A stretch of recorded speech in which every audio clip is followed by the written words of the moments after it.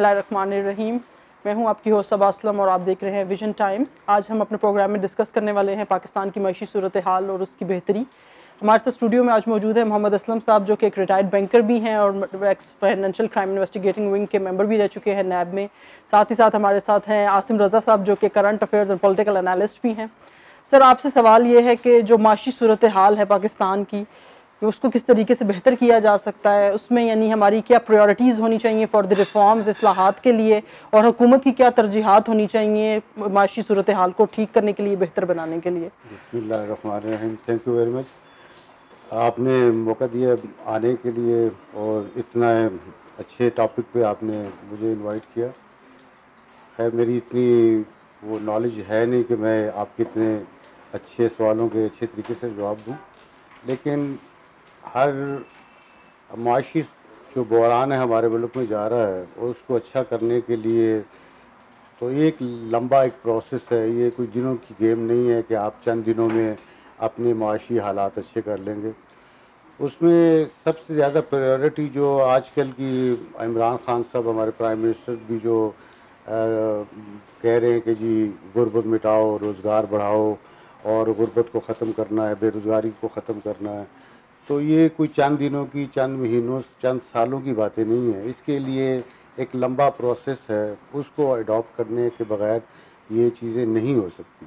और सबसे बड़ी चीज़ जो जिस पे हमने कंट्रोल करना है अपनी माशी हालात को अच्छे करने के लिए वो है करप्शन जब तक आपके मुल्क से करप्शन ख़त्म नहीं होगी आपके माशी हालात अच्छे नहीं हो सकते। ये वो दीमक है या वो कैंसर है कि जो जिसम तो तवाना तंदुरुस्त लगता है लेकिन अंदर से ये करप्शन जो है ये आपको खाई जा रही होती है और उस वक्त पता चलेगा आपको जब आपका पूरा ढांचा नीचे गिर जाएगा। कोलैप्स कर जाता कोलैप्स करेगा उससे पहले हमें चाहिए कि अपनी इस करप्शन को कंट्रोल करें।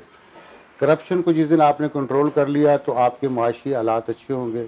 और उसके कंट्रोल करने के लिए अगर आप देखें तो हम लोग अपनी फेथ से हट गए हुए हैं। हम हमारा मुल्क जो एक नज़रियाती मुल्क है और हमने अपनी जो इस्लामिक फेथ है अपने इस्लामिक जो नज़रियात हैं कुरानिक जो हमारा वो है वे ऑफ़ लाइफ है उसको हमने छोड़ दिया। हमने नबी पाक वसल्लम की सुन्नत को छोड़ दिया। चाइना को आप देख हैं अगर आज चाइना की आप बात करते हैं चाइना ने बड़ी तरक्की कर ली है। If you go back in to history तो आप चाइना को देखें तो पहले जब माओजो तंग ज़िंदा थे और उस वक्त ये एक आ, स्कूल लेवल के ऊपर ऑब्लिगेशन थी स्टूडेंट्स के ऊपर कि वो माओ के जो नज़रियात है उसको पढ़ेगा। तब वो जाके हाई स्कूल से आगे यूनिवर्सिटी तक जा सकता है जब तक अथॉरिटीज़ इस चीज़ का सर्टिफिकेट नहीं देती थी कि इसने माओ के नज़रियात को अच्छी तरह पढ़ के समझ लिया है। तब जाके वो यूनिवर्सिटी जा सकता था। इसी तरह हमारा जो ये जो आज हमने मदरसों को छोड़ दिया, तालीम को छोड़ दिया, कुरान को छोड़ दिया, हमारी जो ग्रास रूट से बच्चों को हमने इस्लामिक निज़ाम को, निसाब तालीम को निकाल दिया। एक बच्चा है, वो कुरान पाक को सिर्फ़ पढ़ रहा है, उसको ट्रांसलेशन के साथ नहीं पढ़ रहा। हदीस पढ़ता है, उसको उस हदीस का मफहूम नहीं आता। नबी पाक वसल्लम, असहाब कराम की ज़िंदगी उसको समझ नहीं आ रही। तो एक अच्छा मुसलमान वो कैसे बनेगा? कल वो जब निकलेगा तो आपके आजकल के मौजूदा एजुकेशन सिस्टम में क्या हो रहा है? करप्शन बच्चों को शुरू से सिखाई जा रही है, उसको गेमों पे लगाया हुआ है। वो उससे वो फ्रॉड भी सीख रहे हैं, उससे वो गलत काम भी सीख रहे हैं। बेसिक जो रिक्वायरमेंट है वो आपको अपने बच्चों को एजुकेशन सिस्टम को वापस इस्लामिक फेथ के रिवाइव करना उसको रिफॉर्म्स लाना हाँ, और फिर इस्लामिक टीचिंग्स और उनके मुताबिक अपना आपका बिकॉज़ आवर कंट्रीज़ आइडियोलॉजी उसके ऊपर बेस्ड इस्लामिक आइडियोलॉजी के ऊपर। इस्लामिक आइडियोलॉजी हमारी इस्लामिक आइडियोलॉजी का हमारे बच्चों को ही नहीं पता। जब ये बच्चे जवान होंगे उस कुरान की तालीम को लेके हदीस को समझ के सहाब कराम की ज़िंदगी को लेके तो फिर जब ये अपनी लाइफ में प्रैक्टिकल में आएँगे तो ये करप्ट नहीं होंगे। ये इनको फिर करप्शन के नज़दीक जब अल्लाह से डरेंगे करप्ट नहीं होंगे। जी आसिम आप कैसे देख रहे हैं कि क्या प्रायोरिटीज़ होनी चाहिए इकनॉमिक्स असलाहत के लिए? और फिर गवर्नमेंट की क्या यानी तरजीहत होनी चाहिए उसको अगले के जिस तरह इन्होंने बात की है अगर हम बुनियाद देखें ना जिस बुनियाद के ऊपर हम खड़े हैं इस्लामी नज़रिया ज़ाहिर बात है एक नज़रियाती मुल्क है। दुनिया में दो ही मुल्क हैं जिनको नज़रियात की बुनियाद पर बनाया गया था। लेकिन आहिस्ता आहिस्ता हम बहसत कौम उस नज़रिए से हट गए। करप्शन एक ऐसी दीमक है या ऐसी बीमारी है जो कि सरायत कर गई है हमारे माशरती इकदार में। हमारी बिल्कुल। जिसे कह सकते हैं ना लोअर लेवल तक और यहाँ मैं ज़रा थोड़ा सा अपनी ऑडियंस को बता दूँ कि यहाँ पे हम सिर्फ़ करप्शन की in terms of money laundering या इन चीज़ों के ऊपर बात नहीं कर रहे। करप्शन हम all overall from the character building to overall state building की तरफ़ बात कर रहे हैं। एक, बिल्कुल। मोची से लेकर एक कप्तान तक जो जहाज़ उड़ा रहा है और एक हुक्मरान से लेकर एक क्लर्क तक। हम अगर थोड़ा सा तनाजुर में जाएँ इसके अगर सिस्टम को देखें तो इस सिस्टम में एक फ्रॉड और करप्ट सिस्टम बन चुका हुआ है। मौजतन की आपने मिसाल दी है सत्तर करोड़ लोगों को गुर्बत की सतह से ऊपर अपलिफ्ट किया चाइना ने। आज दुनिया की सुपर पावर बन चुकी है वो कौन और उसके पास इतना पैसा है इतना उसने मर्ज किया है कि आज दुनिया की जो सुपर पावर्स थी वो उसकी मोहताज होती जा रही हैं। हमारे इस बाद में आज़ाद होने वाला मुल्क आज हमसे आगे कहीं आगे चला गया। हमें बहुत सारी चीज़ों की मिसाल मिलती है हमने बहुत सारे इदारे बनाए। अब हम इंडिविजुअली अगर बात करें तो हर इंसान हर मौके पे आपने गेम्स की जिस तरह बात की आपकी गेम्स बनी उसमें चीट कोड्स का मकसद क्या है कि जी लोगों को धोखा दे रहे हैं आप। आपने चीट कर लिया गेम को और आप इजी हो जाएँगे गेम खेल लेंगे। बच्चों को बड़ी अच्छी मिसाल थी लेकिन आपका सिस्टम ऐसा बन गया है कि आप अपना जायज़ काम भी नाजायज़ तरीके हाँ, से करवाते और झूठ के साथ करवाएँ एक किताब है और वो बड़ी अच्छी किताब है राजा गिद्ध अगर आप इतफाक़ को पढ़ने का तो उसको बार बार पढ़ें। उसमें हलाल और हराम की तमीज़ का ज़िक्र किया गया एक जगह। और उसके अंदर उसको जिस तरह डिफ़ाइन किया गया है कि हमारे माशरे के अंदर हमारे सिस्टम के अंदर ये चीज़ें कैसे सरायत कर गई हैं एक तो ये हमारी हलाल हराम की तमीज़ ख़त्म हो गई है। हम कुछ नाम ले इन चीज़ों को हलाल तो ज़रूर कह देते हैं हराम है ये हलाल है। और ये चीज़ नहीं खानी ये चीज़ हराम मना की गई है। लेकिन वैसे जो हम अपने एक्ट्स में जो करते हैं। जो हराम चीज़ें खा रहे हैं कमाने के अंदाज में उसमें एक मिसाल दी है कि जी एक तंदूर की रोटी एक ही चक्की का आटा वो आटा एक ही तंदूर पे जाता है या एक ही घरों में जाता है जहाँ पे रोटी पकती है वही रोटी हमारे पेट में जाती है हम खाते हैं इंसान। फ़र्क सिर्फ़ ये है कि एक रोटी जो खरीदी गई आटा खरीदा गया वो हलाल के पैसे से था और उसी चक्की के आटे को एक ने हराम के पैसे से खरीदा उसकी तासीर ही बदल जाती है। बिल्कुल। तो ये वो तासीर है जो कि हमें इस बदहाल मीशत की सूरत में नज़र आ रही है। और इदारे करप्ट इदारों में आपने सियासतदानों की सियासत नज़र आ जाएगी हर हुकूमत ने आके अपनी सियासी भर्तियाँ की। मैं कोई ऐसा इदारा नहीं कहूँगा कि जो इससे मुबर्रा हो सिवाय एक आध इदारों के जिनकी बेस के ऊपर आज आप दोनों से मेरा एक क्वेश्चन है। यानी relating to all our discussion कि अभी ओवरऑल मीशत को ठीक करने के लिए इकोनॉमी बिल्कुल इसको ठीक करने के लिए कौन से ऐसे प्रायोरिटी इकदाम हैं जो कि करना बहुत ज़रूरी है? सबसे पहले आपको इदारों को इसमें इदारों को आपको खड़ा करना है उनको आपने करप्शन से फ्री करना है उनको आपने प्रोडक्टिव बनाना है। आज तो वो आपके लिए सफ़ेद हाथी बोझ बन चुके हुए हैं। आप पाकिस्तान टेलीविज़न को देख लें आप पी आई ए को देख लें आप स्टील मिल्स को देख लें ये वो इदारे रेलवे को देख लें ये वो इदारे थे जो कि आपको प्रॉफिट देते थे। और यही बजट मिल के कलेक्टिवली आपके मुल्क के मीशत का पहिया चलाता है। मीशत यही होती है। और आज आपको इनका पेट भरने के लिए आपको कर्जे लेने पड़ रहे हैं लोगों की तनख्वाहें पेंशन देने के लिए आपको सेहत और तालीम के असूल के लिए कर्जे लेके मुल्क चलाना पड़ रहा है। जी असलम साहब कौन से ऐसे इम्पोर्टेंट इकदाम हैं जो कि करना अभी बहुत ज़रूरी है? बींग मुस्लिम हमारे पास काफ़ी चीज़ें ऐसी हैं कि हमें किसी से पूछने की ज़रूरत नहीं है। सबसे पहले हमारा जो socio economic system of Islam है अगर हम उसी के ऊपर अमल कर लेते अगर हम ज़क़़त जो है ज़क़़त हमारी अगर हमारी आवाम कल इमरान खान भी कह रहे थे कि जी हम ज़क़़त और खैरात तो बड़ी देते हैं टैक्स नहीं देते। टैक्स क्यों नहीं लोग देते? क्योंकि लोगों को पता है कि गवर्नमेंट को ये जो टैक्स हम देंगे ये हमारा बेकार जाएगा। वो ज़क़़त अपने हाथों से देते हैं एक इस्लामिक फेथ है उनकी कि हम अपने हाथ से ज़रूरतमंद तक ये पहुँचाते हैं ज़क़़त को। तो किसी का पेट भर जाता है। अब ये जो बैतल पहले जब ज़क़़त डिडक्शन जब भट्टू साहब के दौर में शुरू हुई थी तो बहुत ज़्यादा डिडक्शन होती थी ज़क़़त की एनअल। बाद में इसमें कमी आती कि लोगों ने ज़क़़त देने के लिए वो अपना एफिडेविट देने शुरू कर दिए ज़क़़त में कमी आ गई बना लिए कर लिया।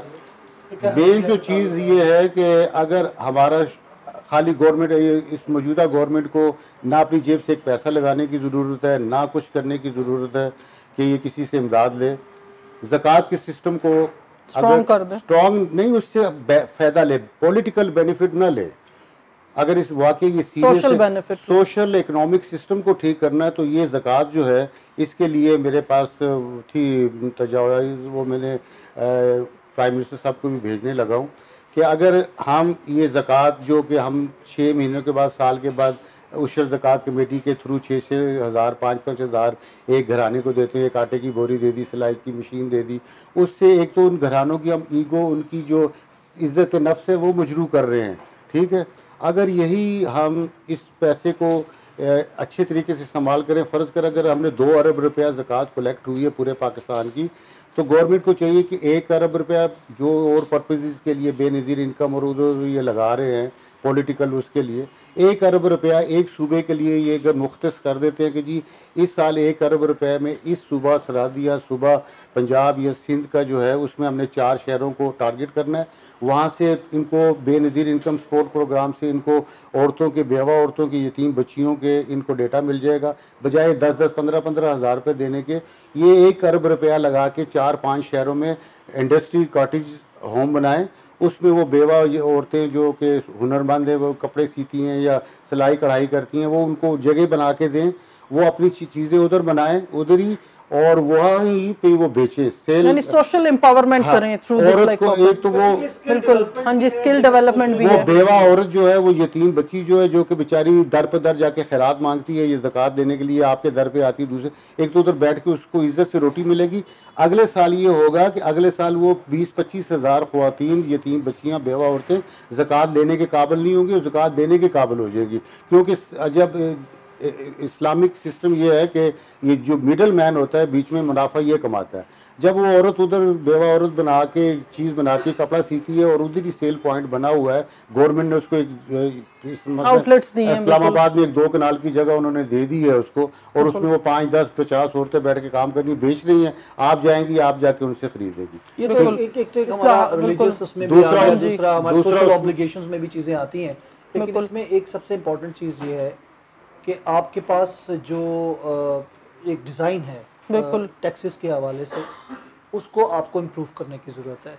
अब हमारे दोनों दोहरे निज़ाम चल रहे हैं। एक तो फाइलर नॉन फाइलर वाला सिलसिला जो है ये बिल्कुल ख़त्म होना चाहिए। आपका आईडी कार्ड पूरी दुनिया में आपका जो आईडी नंबर होता है जो कि आपकी सिटीजन आईडी शिप होती है वही आपके टैक्स के हवाले से वही आपके तमाम चीज़ों में इस्तेमाल हो रही होती है इसी के साथ हम लोग एक ब्रेक के लिए चलेंगे। ब्रेक के बाद आके हम आपके से इस चीज़ के ऊपर ही फर्दर पूछेंगे कि like how we will manage this taxes और फिर उसके बाद माशी जो बहरान है मुल्क में उसका जिम्मेदार कौन है? इसके बाद यानी हम लोग इस ब्रेक के बाद आपके साथ इस चीज़ के ऊपर दोबारा से कंटिन्यू करेंगे। Will see you after break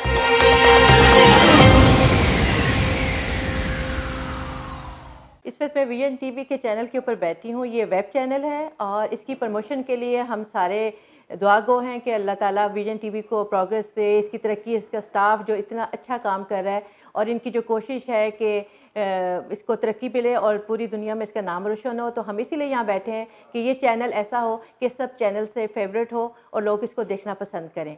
और इसका जो स्टाफ जितनी मेहनत से काम कर रहा है और तरह करता रहे, उनको मज़ीद तरक्याँ दें।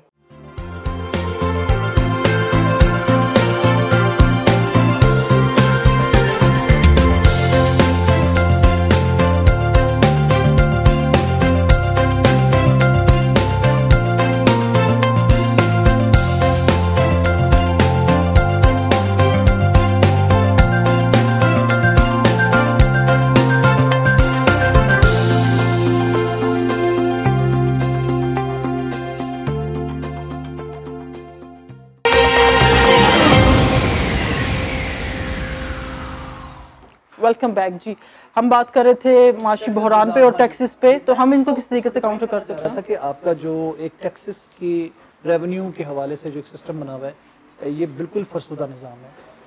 आप दोहरे में आ रखे हुए आप एक गरीब से भी उतना ही टैक्स ले रहे हैं। बिल्कुल। जिसके ऊपर नहीं बनता क्योंकि जब वो एक सुई भी खरीदता है तो वो वही पे करता है जो एक अमीर पे कर रहा है। जहाज़ भी खरीदेंगे तो वही पे करेंगे टैक्स तो अब आपके पास कोई स्लैब्स नहीं रही। आप कहते हैं जी हमारी ये स्लैब्स हैं इन इस तक जो आएगा उसके ऊपर इतना टैक्स होगा इस पर नहीं होगा। आप उससे आप धोखा दे रहे हैं। दूसरे अल्फाज में जब हुकूमती सतह पे ये काम होगा तो मेरे ख्याल से आपको इनडायरेक्ट टैक्सेशन को ख़त्म करके डायरेक्ट टैक्सेशन को आपको इन्फोर्स करने की ज़रूरत है। जब आप इन्फोर्स करेंगे तो उसके बाद आपको पता चलेगा कि इसके मुल्क के अंदर टैक्स कितना जमा होता है। छः सौ अरब आपका जो एफ़ बी आर के अपने चेयरमैन की रिपोर्ट है कि वो कहते हैं कि जी छः सौ अरब जो टैक्स जमा होता है वो गायब हो जाता है। वो ग्रे एरिया है जो कि लीक हो जाता है खा लिया जाता है गायब कर लिया जाता है उसका पता ही नहीं चलता। बारह अरब रुपए की आपकी योमिया करप्शन है जो ग्रे इकोनॉमी पैरेलल चल रही है। बिल्कुल ऐसे यानी जिस मुल्क का बजट ही खसारे में है उसमें योमिया 12 अरब रुपए की करप्शन हो ग्रे इकोनॉमी तो इसका मतलब ये है कि इस मुल्क को तो कर्जा लेने की ज़रूरत ही नहीं है। सिर्फ़ मसला ये है कि इस मुल्क को आप चैनलाइज नहीं कर पा रहे इस मुल्क में आप स्लैब्स नहीं बना पा रहे एक जस्टिफाइड टैक्स निज़ाम, जिस तरह इस्लामी निज़ाम था जजिया खराज वगैरह की बात की जाती है, अगर हम उसको स्टडी करते हैं तो वो बड़ा क्रिस्टल एंड क्लियर था।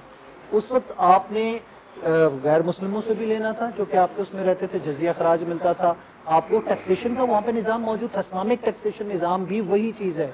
और वहाँ पर गरीबों से नहीं लिया जाता था।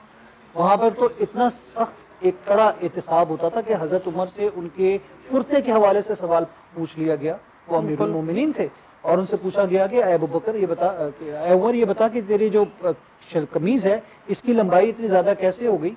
जबकि कपड़ा इतना ज़्यादा किसी के हिस्से में आया ही नहीं। जब सबके हिस्से में बढ़ता था बैतुल माल से जो चीज़ें आती थी वजीफे लगते थे तनख्वाहें वहाँ से आती थी। तो अगर हम इन तमाम चीज़ों को देखें एक तो इनकी बात बिल्कुल ठीक है कि हमारा वो निज़ाम जिसको हमें स्टडी करने की ज़रूरत है जो इस्लामी माशी निज़ाम था उसको हमने छोड़ दिया। चलें वो छोड़ दिया। अब जो निज़ाम मौजूद है उसके अंदर जो आपके फ्लॉज मौजूद हैं आपका आपको यही नहीं पता कि इस मुल्क में जो इनडायरेक्ट टैक्स है जो कि आपसे काट लिया जाता है तो इनफ्लॉस का इनफ्लॉस का रिस्पांसिबल कौन है? वो गवर्नमेंट्स होती है ना।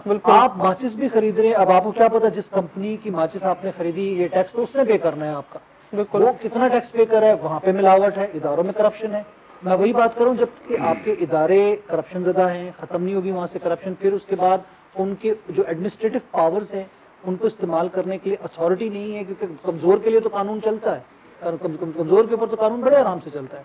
ताकतवर के ऊपर आप कानून नहीं चला सकते वो उसके लिए मुमकिन है। बिल्कुल। तो आप इन तमाम चीज़ों को जब तक क्लियर नहीं करेंगे तो आपका इस मुल्क में माशी जो इस्तेसाल हो रहा है वो जारी रहेगा। और इसलाहत आप जितनी भी कर लें वो इम्प्लीमेंट नहीं हो सकते। सर जैसे आप रह चुके हैं एक ऐसे इंस्टीट्यूट के साथ जो रेगुलेशन कर रहा है एंटी करप्शन चीज़ें कर रहा है मेयर्स ले रहा है आप ऐसे इदारे से आपका ताल्लुक रह चुका है तो आप कैसे देखते हैं कि मुस्तहकम इदारे माशी इदारे पाकिस्तान के लिए कितने ज़रूरी हैं और यानी इनकी इम्प्लीमेंटेशन कितनी ज़रूरी है अभी like for the like in this scenario उसमें हर मुल्क या हर घर जो है एक इंडिविजुअल भी ले लें।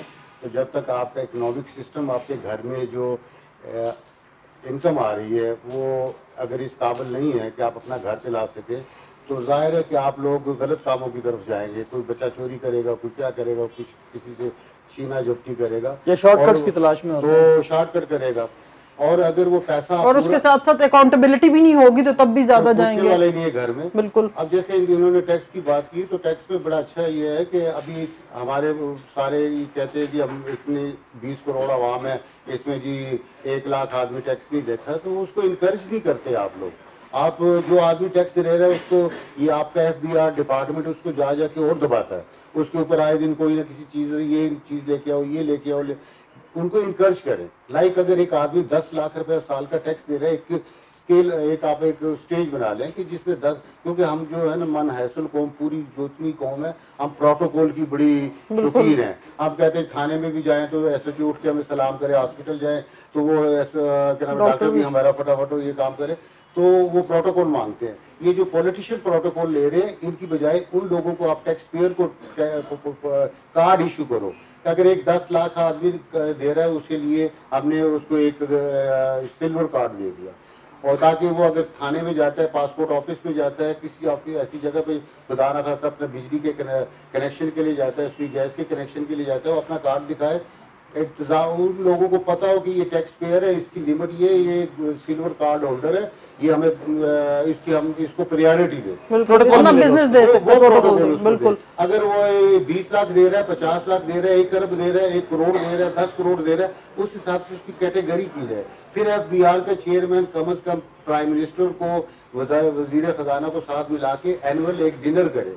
जिसमें जो लोग ज़्यादा से ज़्यादा टैक्स देते हैं उनको वो सिल्वर कार्ड उनको गोल्डन कार्ड उनको डायमंड कार्ड जो हैं वो उनको तकसीम किए जाए। इंसेंटिव्स ऑफ़र बिल्कुल इंसेंटिव्स ऑफ़र कार्ड देने से कुछ फ़र्क नहीं पड़ेगा वो एक इंकरेजमेंट होगी।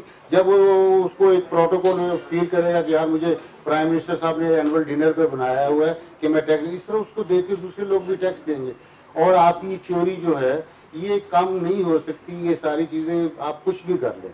मैं एक छोटा सा आपको ऐसी एक लतीफ़ा से ही बनता है कि एक चिड़िया घर में एक भेड़िया जो था वो रोज़ केज से बाहर आके बैठ जाता था। तो डायरेक्टर ने बुलाया कि यार ये बाहर आके क्यों बैठ जाता है? उन्होंने कहा, जी, केज की हाइट कम है। वो तीन फुट ऊँची कर दो जी। तीन फुट ऊँची कर दी। नेक्स्ट डे वो भेड़िया फिर बाहर बैठा हुआ फिर वो उन्होंने कहा जी, तीन फुट और ऊँची कर दो, तीन फुट और कर दी। थर्ड डे भी कर दी। नौ फुट ऊँचा कर दिया, फिर बाहर बैठा हुआ तो डायरेक्टर साहब ने भेड़िए से पूछा भाई तुझे क्या प्रॉब्लम है? नौ फुट ऊँचा मैंने केज कर दिया तो फिर बात वो कहते हैं जी पिछली खिड़की तो आपने बंद नहीं की हुई है। हमारे माशरे में आप जो पिछली खिड़कियाँ वो बंद करनी पड़ेंगी। अपने केज ये जो कानून है इनमें जो आपने लूप होल्स रखे हुए हैं बिल्कुल। खिड़कियाँ छोड़ी हैं बंद करें।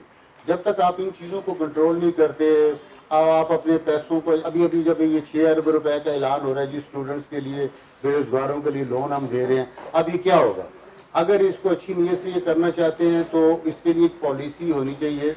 जो मैं जो सजेस्ट कर रहा हूँ प्राइम मिनिस्टर साहब को, कि पाँच पाँच स्टूडेंट्स का लड़की लड़के इकट्ठे करके उनका एक ग्रुप बनाया गया। पिछली हुकूमतों ने क्या किया? पाँच पाँच छह छह लाख रुपए लोन दिए स्टूडेंट्स को। उन्होंने खा पी जैसे चाइना में होता है वहाँ पे बेसिकली इसी तरीके से होता है कि वहाँ पे वो ग्रुप्स उठा लेते हैं और उनको स्टेट फंडिंग मिलती है। एक लड़का फाइनेंस का हो उसमें एक टेक्निकल साइड भी हो एक मार्केटिंग का हो चार पाँच बंदों का ग्रुप बन जाता है। उनको आप पाँच पाँच लाख रुपए फ़र्ज़ करो बीस पच्चीस लाख लोन देते हैं उस कंपनी को। अब उसके लिए जगह भी मैं बताता हूँ इनको। जगह यह है कि जेलों में हमारे पास कैदी भरे हुए जो हुनरमंद है। जहाँ आपको आईटी के भी लोग मिलेंगे जहाँ आपको अच्छे टेलर भी मिलेंगे अच्छे कारपेंटर भी मिलेंगे अच्छे आ, हर किस्म के अच्छे से वहाँ जो जेलें काट रहे हैं। अब वो जेलें काट रहे हैं अब ये जो आप पहले ज़माने में अब तो बंद हो गया पहले जेलों में ये कारखाने होते थे दस्तकारियाँ बनती थी जेल के बाहर आउटलेट लगा होता था लोग जाके कारपेट्स भी खरीदते थे। अब वो जब ये लड़के जाके वहाँ जेलों में अपनी वर्कशॉप लगाएँगे कैदियों को वहाँ जॉब मिलेगा ठीक है? कैदियों को तनख्वाह मिलेगी। जब वो कैदी जेल से रिहा होकर आएगा उसके पास पाँच दस लाख रुपए का सरमाया होगा जो कि वो अपना एक अच्छा कारोबार कर सकेगा माशरे का अच्छा। बिल्कुल। अगर वो जेल में है उसकी बीवी बच्चे हैं तो जो दस पंद्रह हज़ार रुपए उसको वहाँ से तनख्वाह मिलेगी उससे वो अपने बीवी बच्चों को खर्चा भेजेगा। आपकी जेल के कैदियों की भी इसलाह हो जाएगी। ठीक है आप एक तीर से दो निशाने करेंगे। अभी आपने ये सी पैक बना रहे हैं मोटरवे बना रहे हैं इसके ऊपर जो एक्स्ट्रा लैंड्स आ रही हैं साइड के ऊपर आप उन बच्चों के लिए बेरोजगार बच्चों के लिए आप सनती यूनिट्स बनाएँ। उन बच्चों को वहाँ जगह दें जहाँ ये अपने उधर छोटे छोटे फैक्ट्रीज लगा के डेवलपमेंट एम्पावरमेंट के हाँ हवाले से तो बिल्कुल ठीक है एक मॉड्यूल होना चाहिए। चाइना की भी मिसाल अगर आप देखते हैं तो उन्होंने भी यही किया था। उनके अंदर बाकायदा तौर पर उनकी बहसीत शख्सियत उनकी किरदार साजी की गई थी। आप अगर देखें तो वहाँ पे ये भी था कि अभी जो शी जिनपिंग है उनको भी दो साल के लिए जंगलों में खेती बाड़ी करनी पड़ी थी। बाय फोर्स उनके ऊपर ये एक कंपल्शन थी कि हर शख्स किसी भी उहदे पे भी है कहीं पे भी है। एक तो वो उनकी जो फौजी ट्रेनिंग है और दूसरा ये है कि वहाँ पे मुशक्क़त का जो काम है वो ज़रूर करेगा। तो दो साल उनको भी खेतों में बाकायदा तौर पर हाथों से वो कुदाले और उन चीज़ों लेके कहते मेरे हाथों पे छाले पड़ गए थे उनकी अगर आप बुक पढ़े उन्होंने काम किया। तो मैं तो, तो वो जगह विज़िट की है जहाँ पे वो काम करते रहे। एग्जैक्टली तो आप ये देखें कि उनके अंदर से एक शख्सियत किरदार को बनाने के लिए उनकी मैं आसाइश पसंदी खत्म की गई। आज वो दुनिया की सबसे आसाइश देने वाली कौम है। बिल्कुल। लेकिन उनके अंदर से सबसे पहले उनकी आसाइश और जो एक वो थी ना कि अपनी ज़िंदगी की एक लग्जरीज उनको उन्होंने ख़त्म किया। उन्होंने अपनी अना को तोड़ा। उसके बाद उनकी जब किरदार साजी हुई तब उन्होंने करप्शन के ख़िलाफ़ पूरा काम किया। पहले उनकी किरदार साजी की गई। इस वक्त आपका क्लर्क से लेकर आपका जहाज़ का कप्तान मैंने मिसाल दी थी किसी भी सियासतदान की बात करते हैं मैं सबकी बात नहीं करता लेकिन मुनासिल कौम अगर आप देखते हैं तो ये चीज़ सराहियत कर गई है। हमें किरदार साजी की भी ज़रूरत है। हमें इस वक्त एक नेशन बिल्डिंग की भी ज़रूरत है। ये और बात है कि जब भी कड़ा वक्त आता है कौम एक मुट्ठी की मानंद हो जाती है ये एक मुआवजा है खुदा का।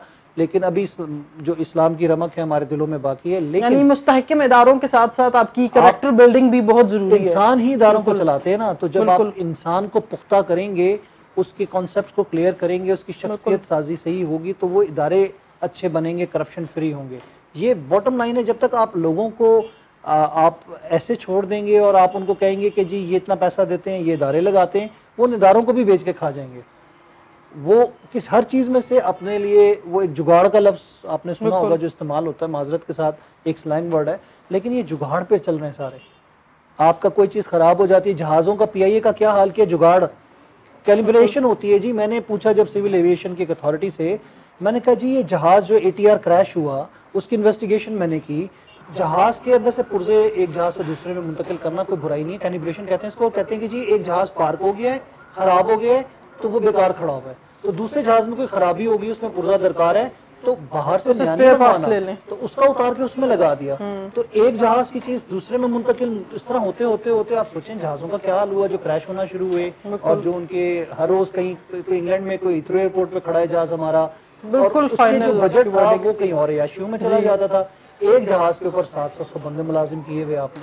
तो ये जब तक ठीक नहीं होगा हम इस करप्शन से और इस माशी बदहाली से नहीं निकल जी असलम साहब आप इसको कैसे कंक्लूड करेंगे? मैं तो इसको तीन लफ्ज़ों पे कंक्लूड करूँगा।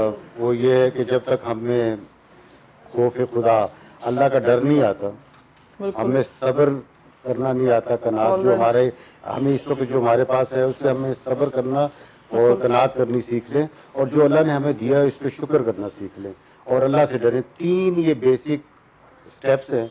जो आदमी इनके ऊपर चाहे वो क्लर्क है चाहे वो पॉलिटिशियन है चाहे प्राइम मिनिस्टर है जिस दिन वो खुदा से डरना शुरू हो जाएगा जो उसके पास है उसके ऊपर वो तैनात करेगा और अल्लाह का शुक्र करेगा तो आपके मुल्क से करप्शन भी ख़त्म आपके मुल्क से बदहालियाँ भी ख़त्म गुर्बत भी ख़त्म सारी चीज़ें ख़त्म हो जाएगी। शर्त यह है कि तीन चीज़ें आप अपने अंदर डाल लें। थैंक यू असलम साहब। थैंक यू आसम यानी आज के प्रोग्राम में हमने ये लर्न किया कि अपने मुआशी बहरान से निकलने के लिए या असलाहत करने के लिए पहले अपने करेक्टर की असलाहत बहुत ज़रूरी है। करप्शन माइनर लेवल पे हो या मेजर लेवल पे हो it is harmful for the state thank you so much Nazmeen